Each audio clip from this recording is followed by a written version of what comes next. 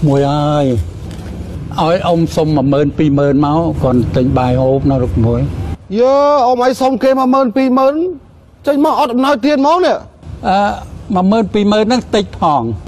ថ្ងៃមុននោះអ៊ំសុំគេបានរហូតដល់50000 60000នោះណាក្មួយហើយគេមានថាអីផងហ្នឹងហើយសុំអីអ៊ំអីសុំលុយគេច្រើនយកទៅណាជិតតែនិយាយអញ្ចឹងទៅកើតហើយដើរមកអត់បើកភ្នែកមើលទេ នេះឈ្មោះដេវីតណាគេគឺកូនប្រុសហើយគេទើបនឹងរៀបចប់អឺអនុបណ្ឌិតថ្មីថ្មីនេះហើយអ៊ំហៅគេមកនេះដើម្បីឲ្យមើលការខុសត្រូវមុខរបរប្រចាំតកូលរបស់អ៊ំមកលបអីគេអត់មើលទេសុំទៀនទេសុំទៀន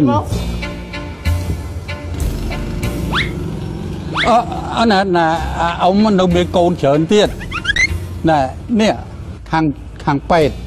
នោះទៀតខាងវិស្វករ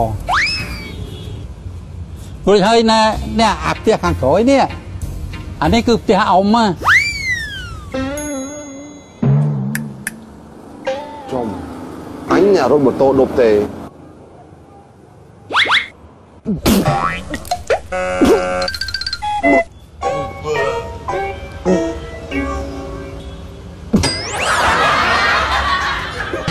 original home!